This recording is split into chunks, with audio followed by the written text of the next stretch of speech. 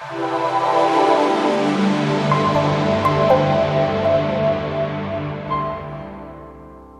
to Atlanta for a great day in Hawks history as we introduce our new general manager. My name is Bob Rathbun, the television voice of the Hawks on Fox Sports Southeast, and we'd like to welcome all of you here in attendance at Phillips Arena this morning. And also, those of you who are watching us in a variety of ways, we are streaming live on Hawks.com. We are on Facebook Live. We're also on the air on Fox Sports Southeast and on the Fox Sports Go app. So we welcome one and all to the introduction of Travis Schlenk. Uh, we would like to, before we get going, point out that uh, Coach Budenholzer would love to be here, but he is attending the high school graduation of his son.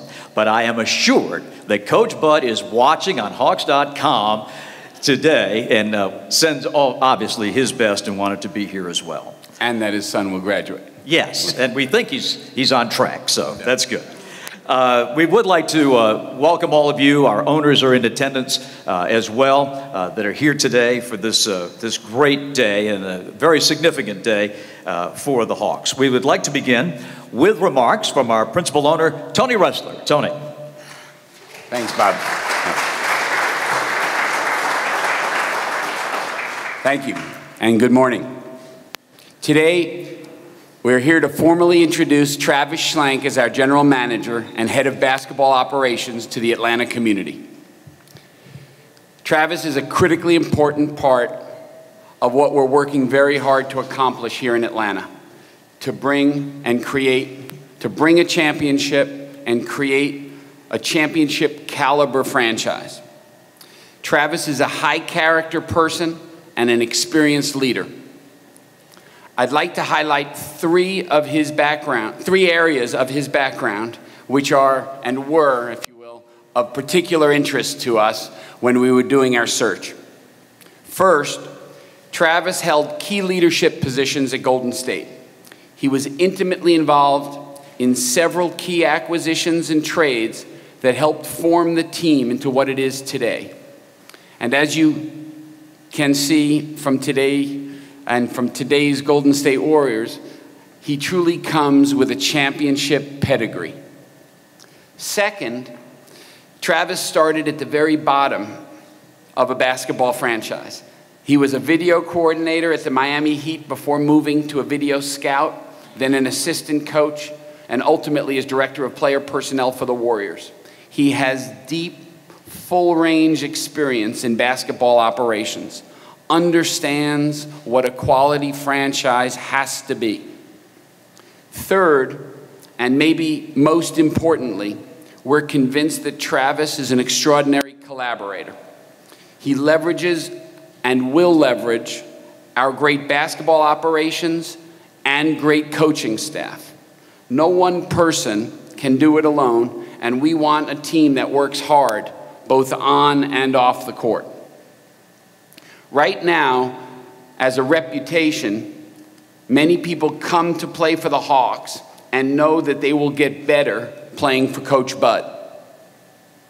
Soon, they will come to play for a championship. As I've mentioned previously, our ownership group is committed to providing the resources required to achieve these goals. During the interview process, Travis mentioned how he appreciated what this franchise has done in just two short years to become more player friendly. A new practice facility in partnership with Emory has state of the art medical staff and equipment, as well as rehab facilities, and will help this process a great deal. Our D League franchise starting this year, before moving to a new facility in College Park, will help as well. So please understand, we're trying to do everything we can to move the Atlanta Hawks to that next level. Travis Schlenk is an incredibly important part uh, of that process. With that, I'd like to introduce you to our new general manager. We're excited to have him. I think you guys will be soon as well. Thank you.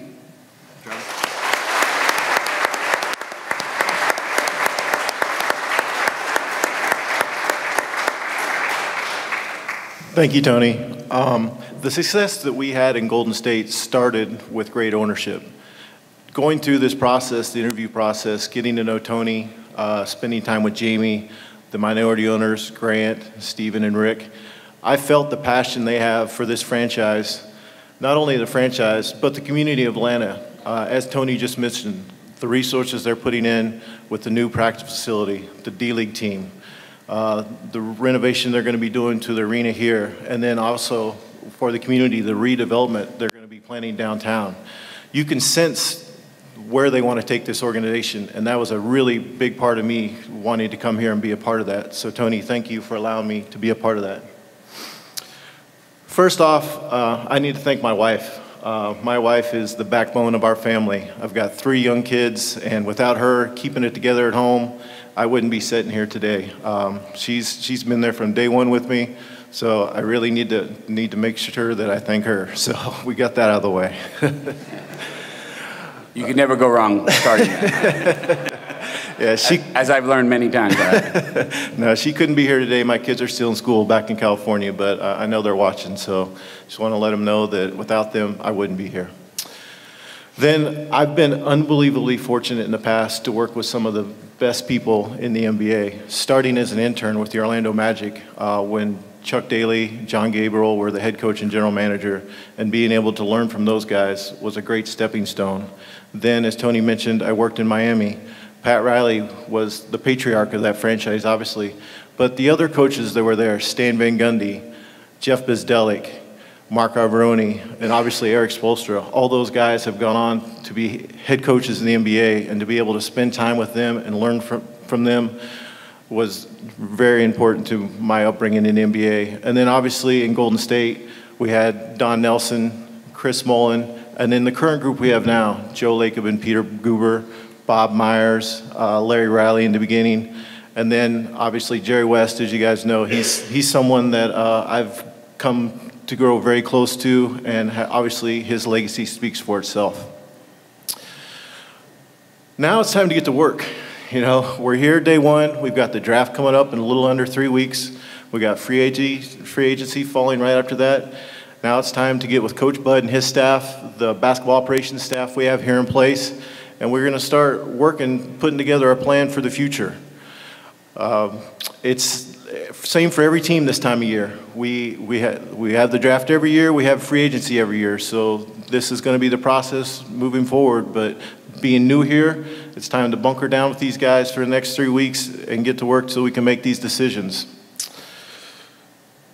What I can tell you today is the philosophy we're going to have moving forward. As Tony mentioned earlier, we're, we're going to be player friendly. Uh, I feel like we've got a great base for that. We're going to continue that. We're going to not only make this a place players want to come, but their families feel a part of the community as well. And that's going to be a big part of what the Hawks basketball organization is going to be moving forward. We're going to be extremely communicative from the top down, from ownership all the way to the bottom of basketball operations. Everyone's going to know what our goal is. They're going to know how they fit into that goal, and we're all going to be pulling on the rope in the same direction, so to speak. As Tony mentioned, I'm a very inclusive person, so everybody's going to be involved. Uh, I, I accept ideas from everyone. I'm not someone that's going to sit in a room by themselves and think they have all the answers. We're going to be inclusive. We're going to work together, and we're going to come to the best decisions that we can make. Finally, we want to build a championship quality team that's